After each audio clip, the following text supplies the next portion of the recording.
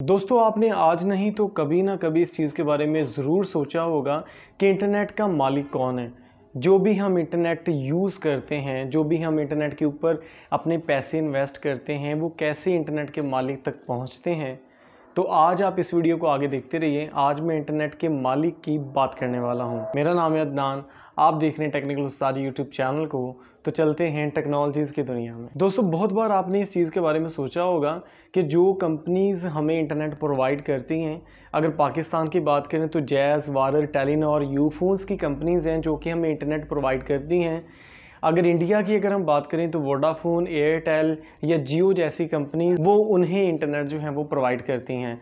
तो अगर हम बात करें कि जो इंटरनेट हम यूज़ करने के लिए पैसे पे करते हैं वन जीबी के लिए हम पैसे पे करते हैं, दो जीबी के लिए करते हैं टेन जीबी के लिए करते हैं तो वो पैसे जब हम शॉप वाले पर्सन को देते हैं तो वो पैसे इंटरनेट के मालिक तक कैसे पहुँचते हैं? तो ये सवाल इतना आसान भी नहीं है, इतना मुश्किल भी नहीं है तो आए इसको समझने की कोशिश करते हैं। फ्रेंड्स सबसे पहले हम जानेंगे कि इंटरनेट काम कैसे करता है, उसके बाद हम जानेंगे कि इंटरनेट का मालिक कौन है। इसके लिए आपको इस वीडियो को लास्ट तक लाजमी देखना पड़ेगा। तो फ्रेंड्स इसको एक एग्ज़ाम्पल से हम समझते हैं कि अगर आप ये मेरी इस वीडियो को देख रहे हैं, ठीक है, आप देख रहे हैं अपने मोबाइल की एप्लीकेशन के ऊपर, या आप देख रहे हैं सिस्टम के ऊपर या लैपटॉप के ऊपर तो आप डेटा ये फैच कर रहे हैं कहीं दूर इलाके में यूएस में सर्वर में पड़ी हुई ये वीडियो जो कि वहाँ से कनेक्टेड हो रही है आपके मोबाइल या पीसी के ऊपर। अब यहाँ पे आप इस चीज़ को समझे कि अगर आपके मोबाइल के ऊपर या आपके कंप्यूटर या लैपटॉप के ऊपर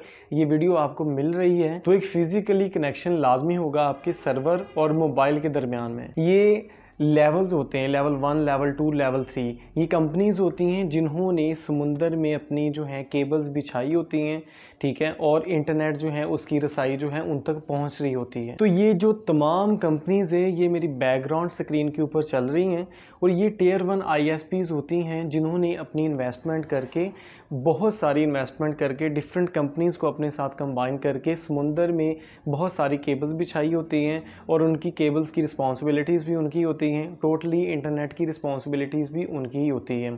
तो वो जो इंटरनेट की कंपनीज़ हैं, वो इंटरनेट को लाती हैं पाकिस्तान में इंडिया में या किसी भी कंट्री में तो वो जो कंपनीज़ हैं, फिर आगे वो इंटरनेट प्रोवाइड करती हैं, बाकी जो छोटी छोटी कंपनीज़ होती हैं, ठीक है?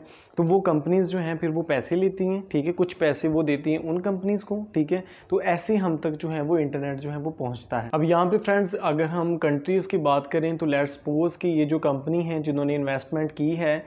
केबल्स की, समुंदर के अंदर बिछाने की और इंटरनेट प्रोवाइड करने की तो ये लेट सपोज़ कि दुबई से लेके सिंगापुर तक, ठीक है? और जो चाइना से लेके रशिया तक, रशिया से लेके पाकिस्तान तक, ऐसे जो हैं वो, इन्होंने जो हैं वो लिंक जो हैं वो आपस में कनेक्टेड किए हैं।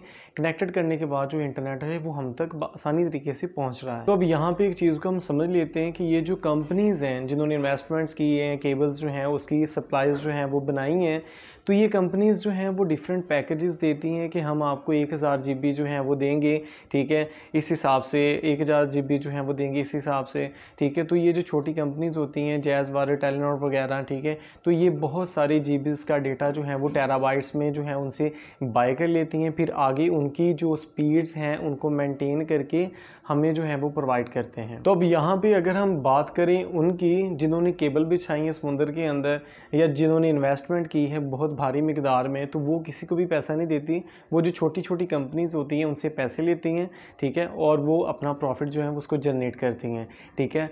तो वैसे ही ये कि आपने एक बिज़नेस के लिए इन्वेस्टमेंट की है उसके बाद आप जितना भी पैसा है, वो आपका है, वो किसी का नहीं है। तो फ्रेंड्स मेरे ख्याल से आप समझ गए होंगे कि इंटरनेट जो है, वो कैसे काम करता है। सबसे पहले वो कंपनीज़ जिन्होंने केबल भी चाहिए इन्वेस्टमेंट्स की है, उसके बाद वो कंपनी जो इंटरनेशनल लेवल के ऊपर आती हैं, उसके बाद वो कंपनीज़ जो आपको इंटरनेट प्रोवाइड करती हैं, दस जी बी पाँच जी बी ठीक है, बीस जी बी तक आपको वाईफाई के थ्रू या रूटर्स के थ्रू जो है वो इंटरनेट प्रोवाइड्स करती हैं। तो फ्रेंड्स मैं उम्मीद करता हूँ कि आपको इंटरनेट की समझ आ गई होगी। ईच इन एवरी आपके जो माइंड में थाट्स हैं वो क्लियर होंगे होंगे।